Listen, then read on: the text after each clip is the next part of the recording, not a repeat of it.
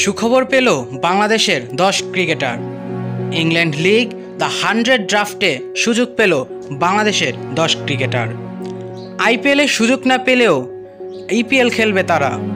দু হাজার বাইশ সালের একশো বলের ক্রিকেট দ্য হান্ড্রেড ড্রাফটে থাকা ক্রিকেটারদের তালিকা প্রকাশ করলেন ইংল্যান্ড ক্রিকেট বোর্ড।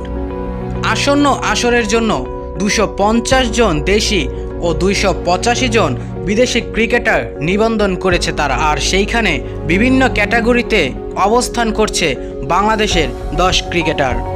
এদের মধ্যে অন্যতম বিশ্বসেরা অলরাউন্ডার সাকিব আল হাসান রয়েছে সর্বোচ্চ নিরানব্বই লক্ষ টাকার ক্যাটাগরিতে। সাকিবের তালিকায় আরও রয়েছেন কুইংটন ডিকক, আন্দ্রে রাসেলরা। এছাড়াও ড্রাফটে রয়েছেন নাসুম আহমেদ, লিটন কুমার দাস, তাসকিন আহমেদ আবু হায়দার রনি, তামিম ইকবাল, সাব্বির রহমান, আফিফ হোসেন ধ্রুব, মাহমুদুল্লাহ রিয়াদ ও সৌম্য সরকার।